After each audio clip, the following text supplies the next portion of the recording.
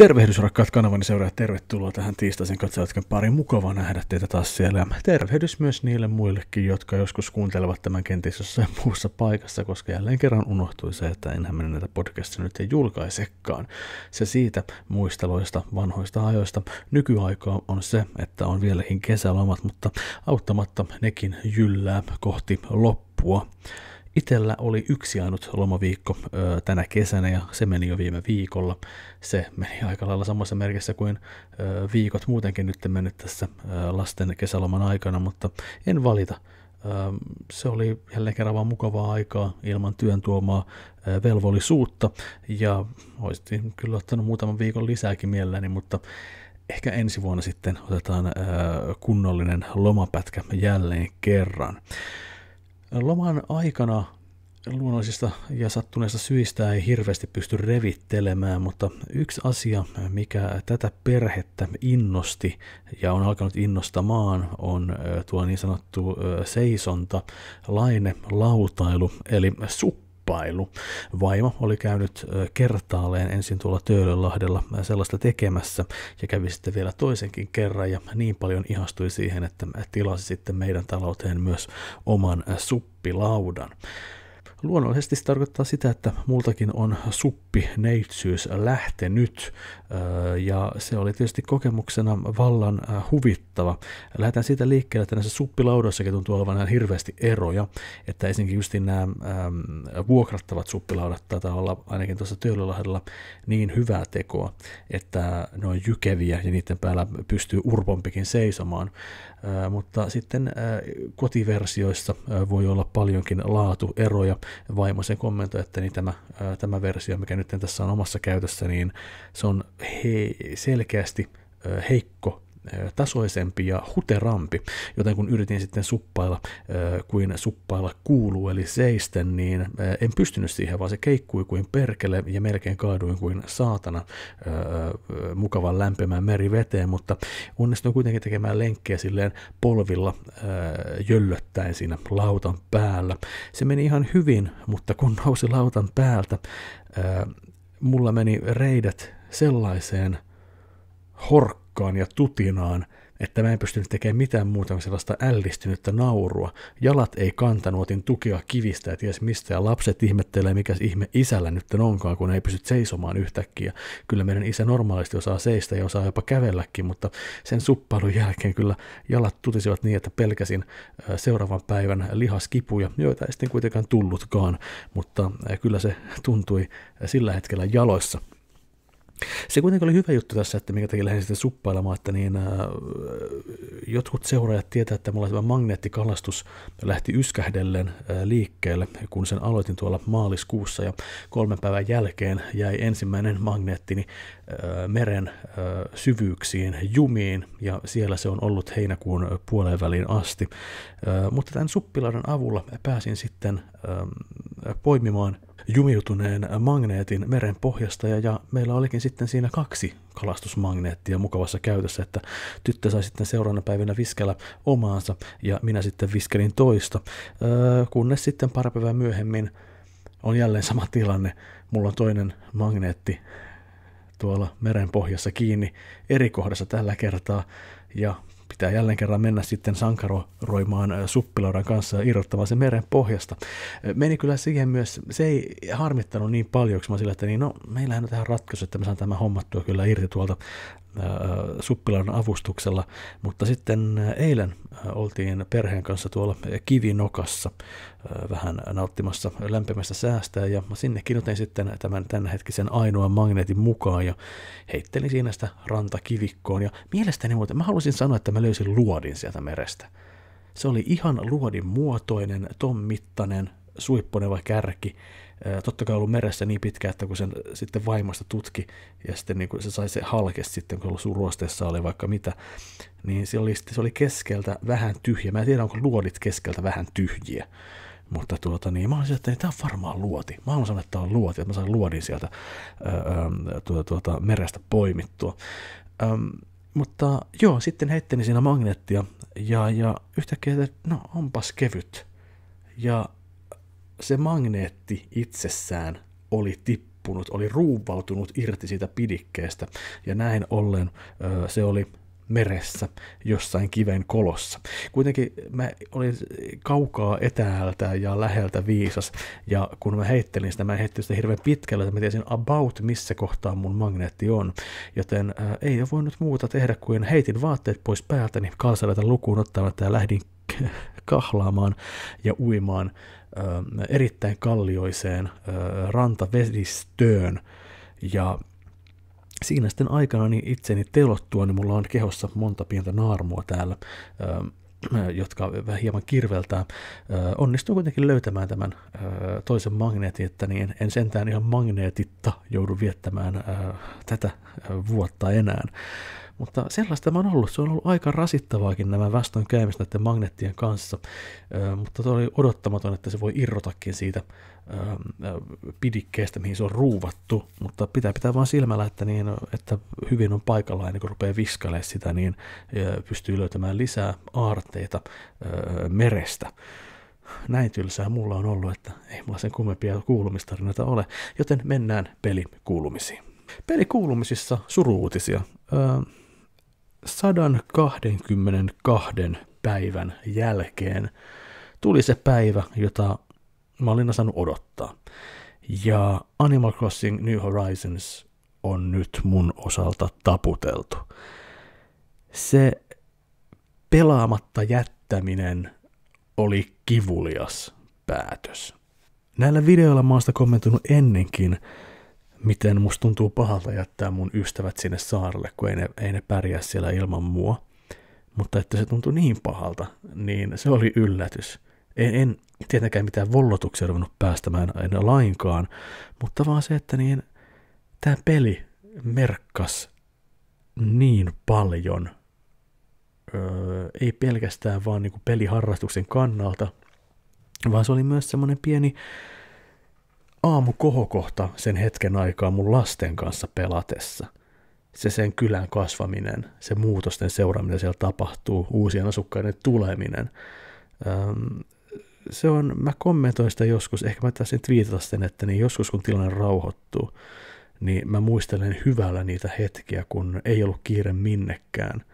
Oli valoisat aamut ja pelattiin Animal Crossingia lasten, lasten kanssa – ja nyt Animal Crossing on sitten ainakin tauolla.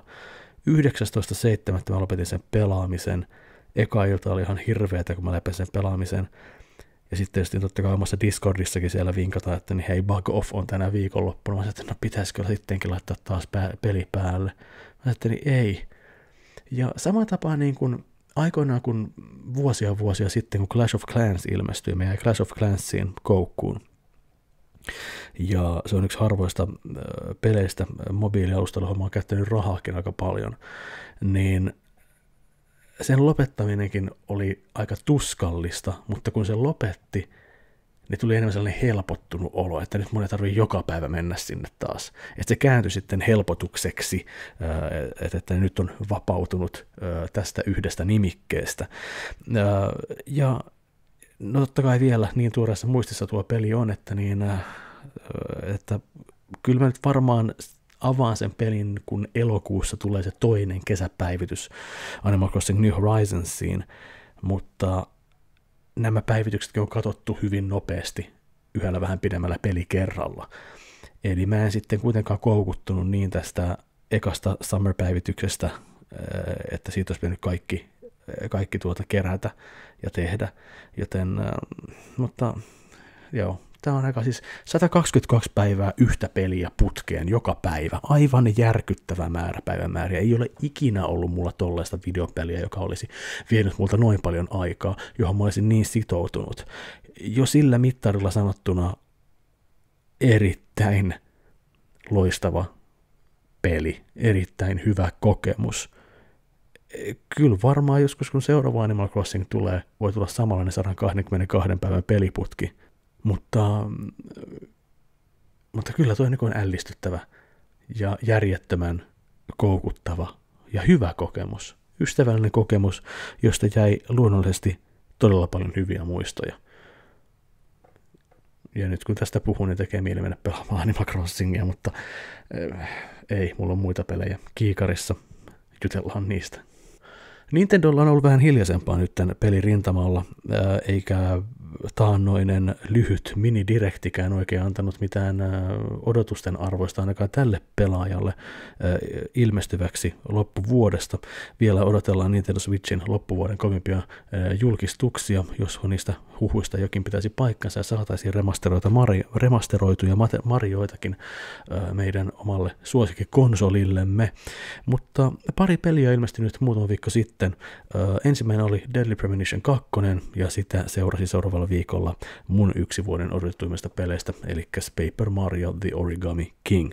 Ensin vähän Deadly Premonition 2, se vähän mitä mä pystyn sitä muistamaan, koska mä sain pelin en julkaisusta vaan muutamia päiviä myöhemmin ja jouduin vähän käyttämään anelutaktiikoita siihen, mutta kiitos Bergsalalle arvio koodista, että sä pääsin testaamaan Deadly Premonition 2. Um, Deadly Premonition pelis, pelinä eka Deadly Premonition ei ole mulle tuttu.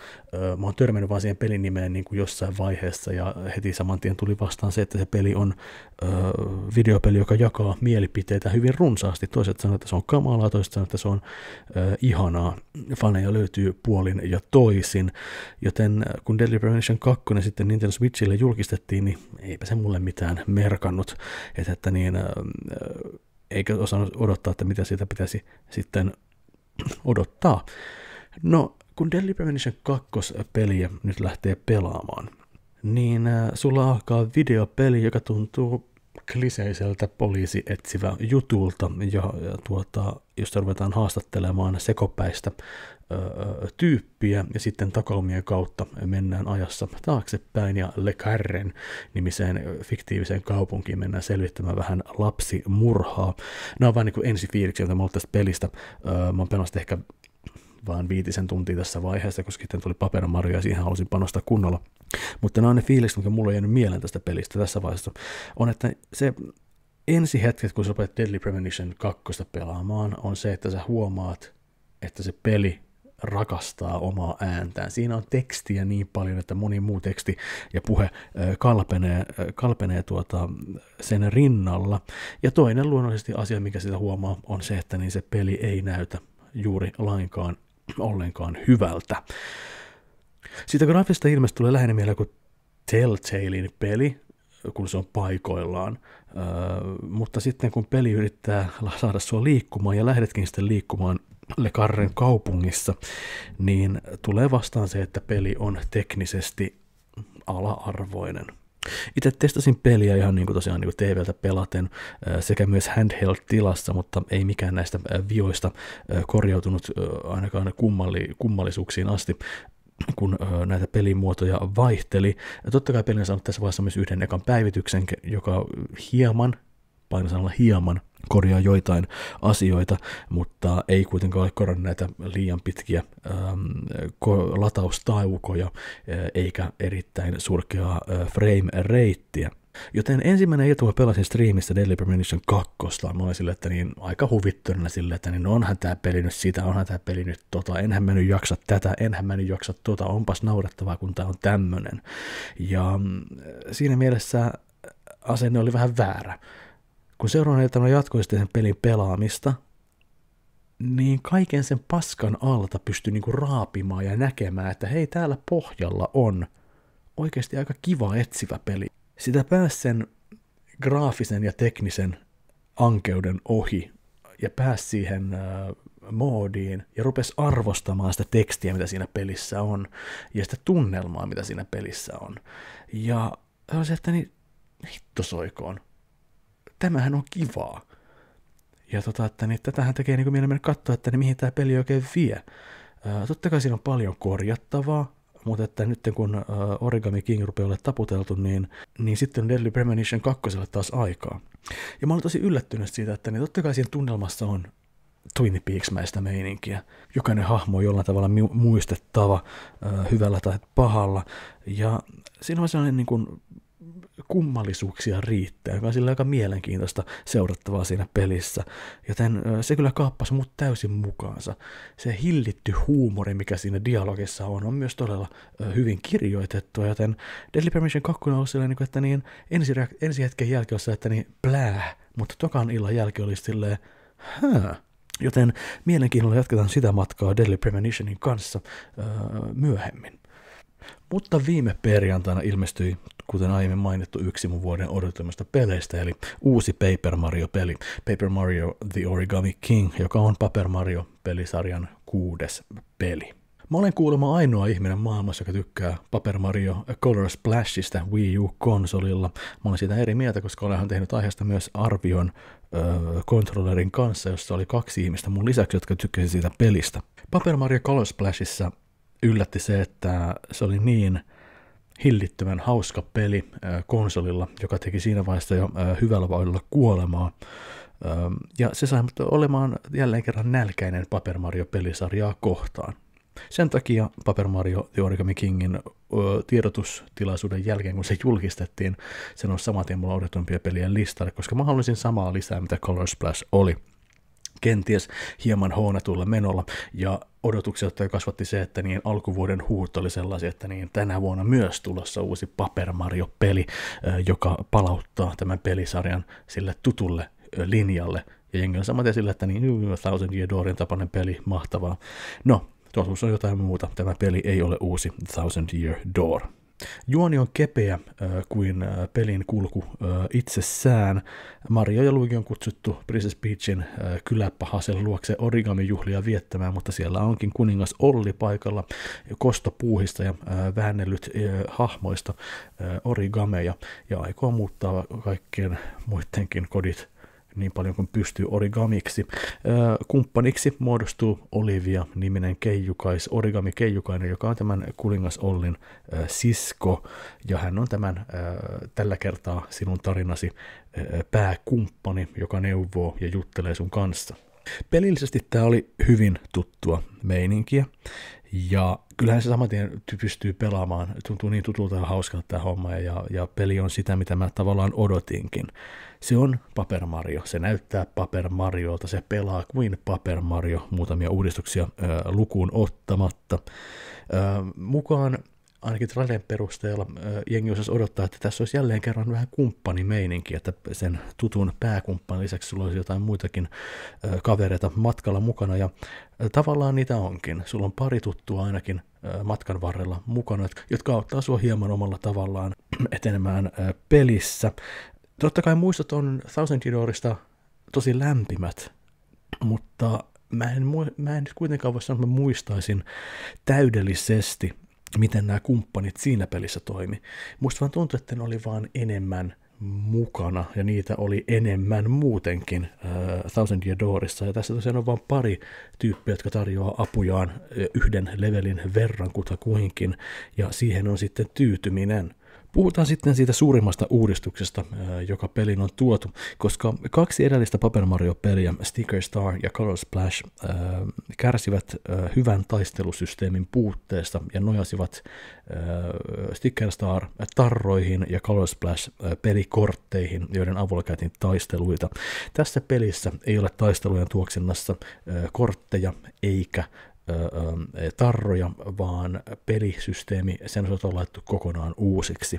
Tässä taistelut pääosin käydään taistelukentällä, jossa on sellaisia liikkuvia kiekkoja, joiden avulla sun pitää järjestellä viholliset hyvään järjestykseen, että saat parhaan mahdollisen hyökkäyksen tehtyä.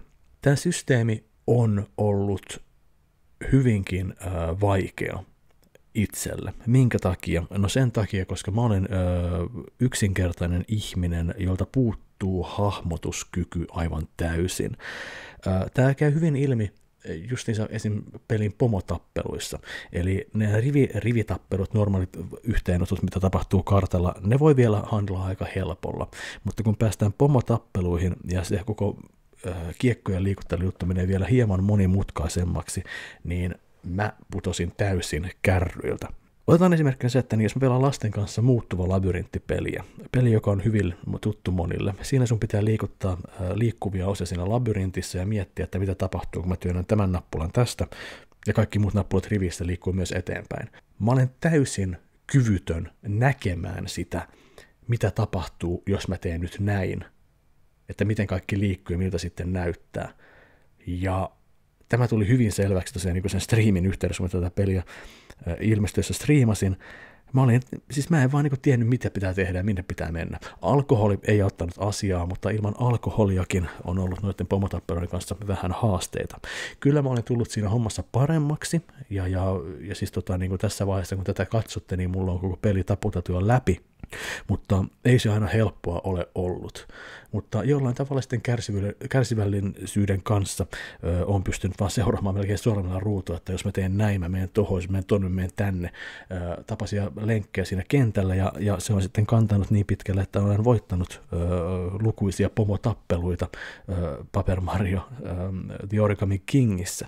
Mulla on vähän semmoinen mielikuva myöskin, että niin nyt tämän uuden taistelusysteemin kautta tappelut vie enemmän aikaa, joka on tehnyt myös sen sitten, että niin näitä rivitappeluita, mitä kartalla edetessä tulee vastaan, niitä haluaa vältellä. Niihin menee liikaa aikaa, ja ne ei ole niin helppoja kuin vaan rämpätä jotain kortteja, että nyt sä teet näin, vaan sun pitää aina tehdä se sijoittelumeininki siitä, joka tuntuu tosi aikaa vievältä ja hieman tuota niin, tylsältäkin puuhalta, kun haluaisi vaan edetä pelissä onko peli sitten ollut hyvä? Onko se ollut Color Splashin tasoinen? Mä en tiedä, sortuuko mun pää nyt siihen, että kun mä odotin tätä peliä niin paljon, että mä sen takia alan sitten äh, vähän negailemaan. Mä en sano, että peli on huono. Sitä mä en sano. Mutta se ei ole myöskään, mun mielestä Color Splash on ollut parempi Paper Mario-peli kuin The Origami King. Mä en ole tätä peliä pelatessa saanut röhönauruja, niin kuin mä sain Color Splashia pelatessa. Mä en ole tätä peliä ää, pelatessa ollut ihan niin fiiliksissä kuin Color Splashia pelatessa. Mä olen saanut tosi hyviä pelihetkiä tämän parissa. Mä en sano, että tämä peli on huono. En ollenkaan. Tämä on sitä tavallaan, mitä mä halusin, mutta se ei kuitenkaan ole tarpeeksi sellaista, mitä mä halusin, että mä pystyisin kehumaan sitä hirveästi. Mutta just niin, että mulla on ollut, niin just, että viime viikonloppuna mä en striimannut esim. ollenkaan, koska mä halusin pelata tätä peliä. Mulla oli mukava pelata tätä peliä. Mä venytin ne mun lomaviikon illat pitkiksi, koska mä halusin pelata tätä peliä. Mutta ei se peli ole kaapannut mua mukaansa kuitenkaan niin hyvin, että mä voisin nostaa sitä niin kuin Color Splashin yläpuolelle. Eli jos mä nyt laittaisin jälleen kerran järjestyksen Paper Mario-pelit, se olisi Thousand Year Door, Paper Mario 64, Color Splash, Origami King, Super Paper Mario ja Sticker Star. Näin se menisi se järjestys. Ja joku arvoisena tälle pelille on semmoinen seiska. Ei se ole huono peli missään nimessä. Öö, ja jollain tavalla voi sitä suositellakin. Mutta tuota niin, äh, kyllä se niin odotuksiin nähden jäi vähän vajaaksi ja ärsyttävyyksineen ja turhautumisineen. Se tarjoaa myös huonoja hetkiä. Mutta tästä on hyvä jatkaa. Mutta mun puolesta saisi kyllä heivata tuon taistelusysteemin helkkariin, kun seuraavaa Paper Mariota tehdään sitten. Paper Mario myyntilukuihin nähdään tämä peli on kai myynyt ihan hyvin, ei mikään megaselleri, mutta kuitenkin ihan passelisti myynyt, joten kyllä me varmaan nähdään lisää näitä pelejä. Ja, ja mielenkiinnolla odotan, mitä seuraavassa pelissä tehdään uudella tavalla sitten. Mutta näin ollen Paper Mario The Origami King on ollut Jees. Näin. Lyhyempi video tällä kertaa. Ää, saatiin vain pääasiat tähän hoidettua, niin kaikki on tyytyväisiä. Ja se kertoo teille parista uutuuspelistäkin, niin se on aina positiivista ää, teidän kannalta. Joten kiitos kun katsoitte videon. Tulkaa Discordiin, jos haluatte jutella livenä lisää. Tai sitten tavataan